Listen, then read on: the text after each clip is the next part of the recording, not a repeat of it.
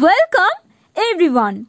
I hope you must stay safe and stay healthy. So let's start today's fact. Today's topic is what is an adrenal nodule? An adrenal nodule is a mass that forms from unchecked cellular reproduction within the adrenal gland, usually comprised of neuroborn Döschin cells. It is generally benign in its composition. Often symptomatic individuals process a genetic predisposition for the development of these nodules. When treatment is warranted, the approach may range from the administration of medication to gland excision. Inventory discovered adrenal mass are frequently referred to as adrenal incidentalomas. In such cases, routine or diagnostic imaging tests reveal the nodule's preference. Whether the mass is discovered by chance or the individual is symptomatic. A battery of laboratory and diagnostic tests may be performed to confirm a diagnosis. Generally, a blood panel and imaging test, including a computerized tomography scan, are conducted to evaluate hormones levels and determine the exact location and presentation of the adrenal nodule. Large masses or those with an anomalous shape generally necessitate additional testing to determine whether the growth is malignant or cancerous. There is no known causes for adrenal nodule development, a condition known as pheochromocytoma. cytoma.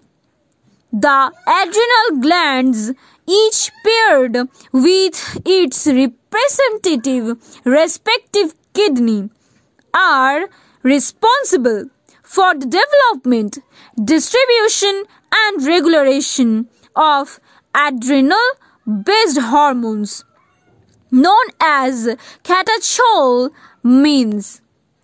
Nodule development generally dispute adrenal processes resulting in unregulated hormone production and releases that compromise blood pressure and cardiovascular function.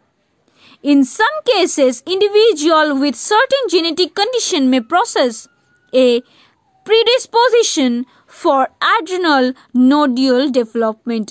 Though adrenal nodules are generally considered and topically automatically occurrence, it is possible for the condition to run in families.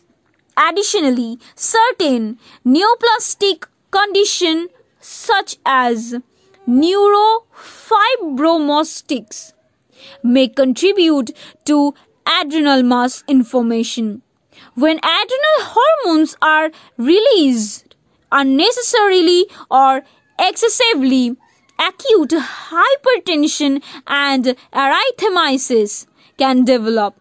Some individuals may experience varying adrenal symptoms that may include presentations, headache, behavioral changes, and abdominal discomfort. Depending on the severity of abdominal discomfort, one's appearance may lessen, resulting in united weight loss. If signs of hypertension of certain arrhythmia are ignored, the risk of complication increases significantly and may result in impaired congestion, wind, organ failure, and death.